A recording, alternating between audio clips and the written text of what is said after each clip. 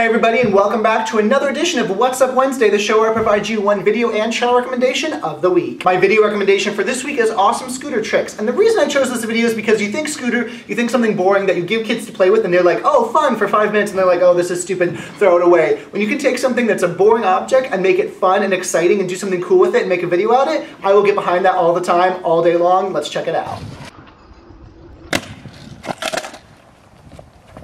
Swag.